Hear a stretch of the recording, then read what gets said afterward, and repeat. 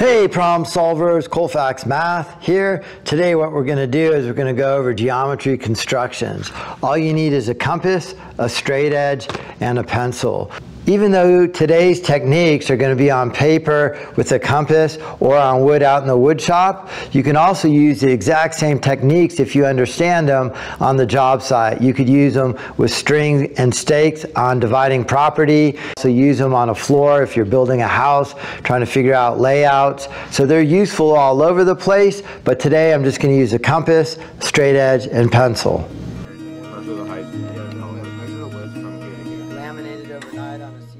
So to get started, first thing you need is a compass. It just has two points on it and then it opens and closes. It's really nice to have a very secure one that locks into place. So here's a pencil.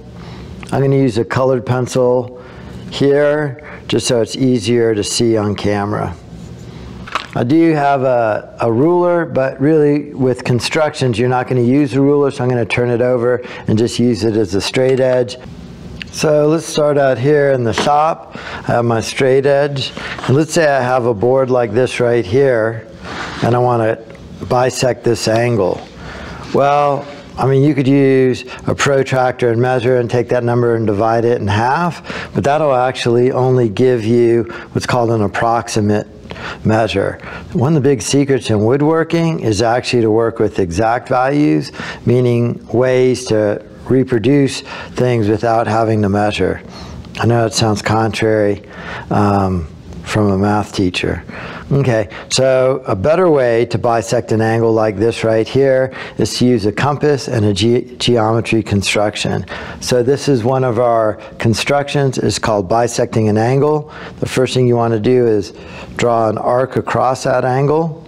You're going to draw two more arcs, and these are going to actually um, intersect. So I'm going to draw an arc from this point here, and I'm going to draw an arc from this point here. And that point of intersection there is exactly in the middle of the angle. So then I use my straight edge, and I go from the vertex of my angle through that point of intersection.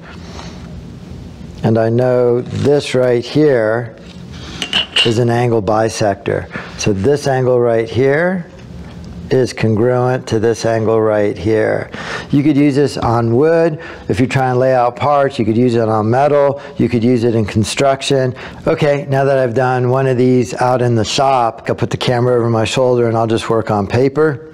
I only need three tools again, my compass, a pencil, and a straight edge, not a ruler. And then the other thing I do as well is I have quite a thick stack of paper, and that gives me some padding underneath.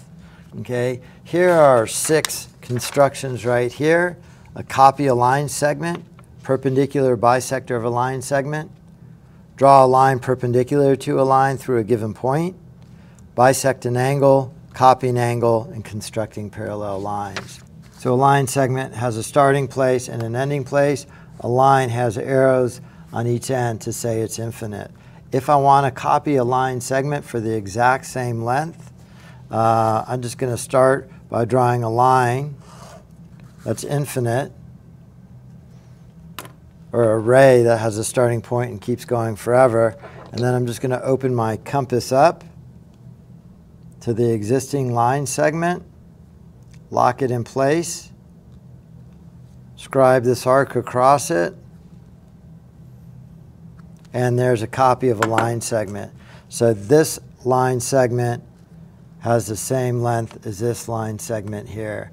So that's our first construction. Let me just say one thing about this.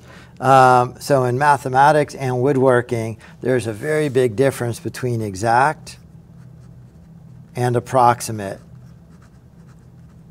And it has to do with significant digits uh, in science. So it really applicable in a lot of different places. An exact value would be something like a fraction two thirds. An approximate value would be the decimal approximation of that, 0.667.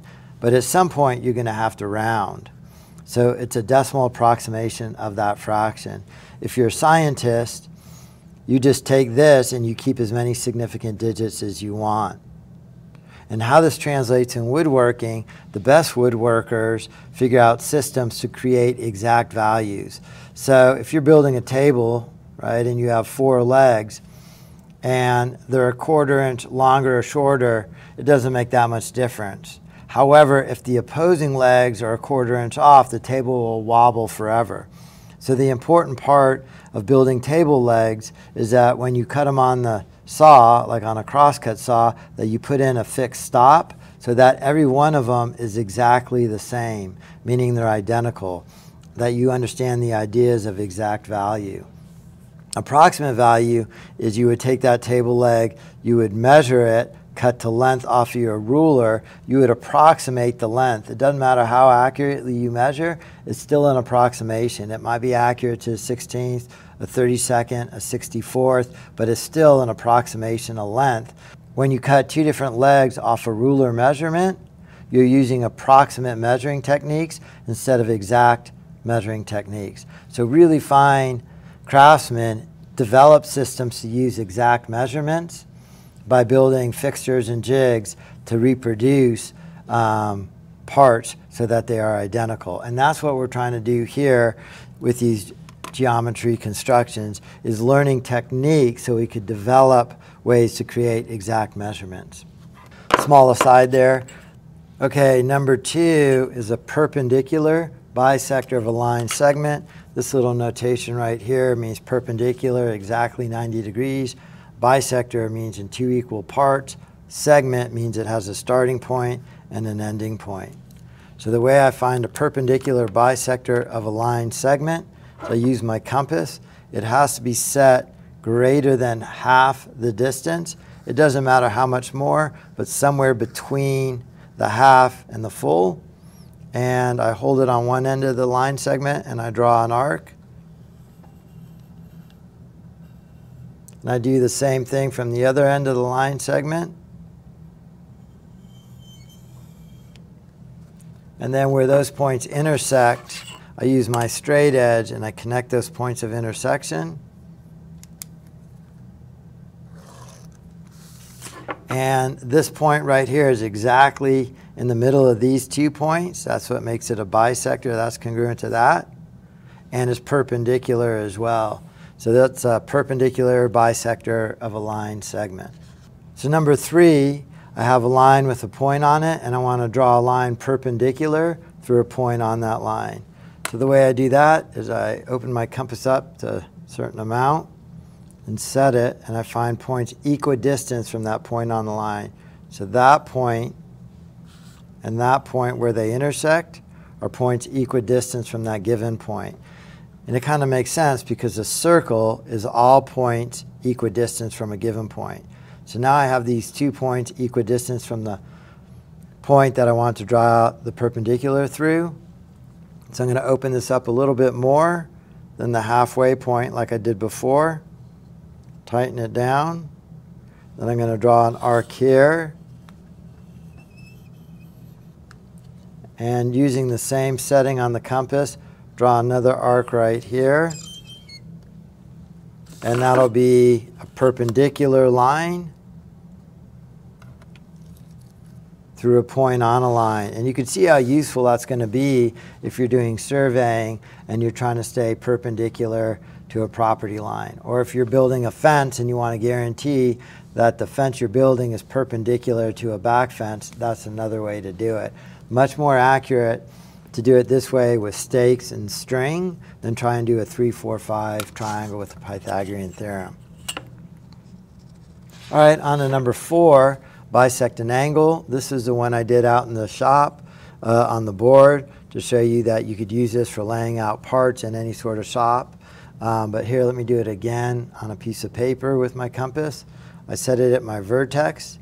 I draw my arc across both sides of the angle because that's going to be all points equidistant from there, meaning that point is equidistant from there as that point is. Then I'm going to draw another set of arcs right here.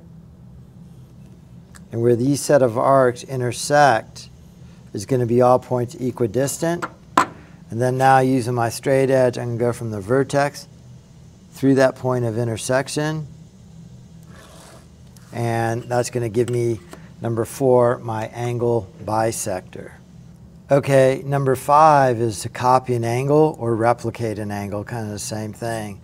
First thing I want to do in copying an angle is just draw a straight line. And this is going to be the vertex where that line is. And then I'm going to draw an arc across my existing angle. So I'm going to draw an arc across this existing angle.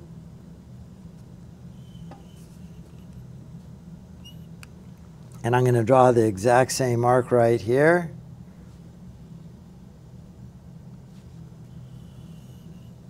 And then in essence, I'm really going to use my compass as a measuring device or a measuring stick, and I'm going to set the distance right here on this amount of opening. So I'm going to set it right there, then lock it down, and then transfer that distance right to here.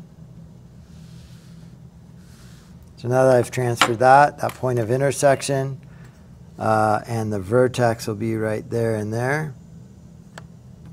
And I can draw that right there. And that's number five, copy an angle. This angle measure is equal to this angle measure right there. Okay, and then the last one I'll go over is constructing parallel lines, number six. There are a lot of geometry constructions. I'm just doing these six today. First thing I'm going to do with this is just draw a line crossing this line, and I'm going to draw my line parallel to there. And the best way to do this is actually just copy an angle measure to here. So let's say I'm going to pick this point right there. And now really all I'm going to do is create a copy an angle measure from here to here, go in the opposite direction, and then those two points will be equidistant from these two points, uh, and that'll prove parallel. So even though these are great, great tools um, for layout, it's also actually a really foundational skill in understanding geometry. And that's why it's always part of a, a traditional geometry class. Also a big part of drafting as well. So I'm going to draw this arc right here, draw that exact same arc off of this point on my transversal. Then I'm going to measure this opening here. And you could say, well, that's the exact same thing as an angle copy. And it is. And that's kind of the point of these things. Once you figure them out, you're just going to find more and more uses of them. So I'm going to draw that measure here. So again, I just transferred this arc up to here, then measured this opening and transferred it to there. And then I'll draw these two lines a line through these two points, point of intersection, and the point I drew on that line. And now I have a set of parallel lines.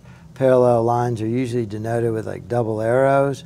Uh, it is in fact the way a lot of people lay projects out on property. All right, so those are our six geometry constructions used in geometry class, used in any shop, um, used out in the field on a lot of different job sites. And I'm sure um, you might use them in different capacities out on a job site, and if you do, please let me know in the comments below. If you're new to this channel, think about subscribing. This channel is Practical Math. I appreciate you watching. Thank you.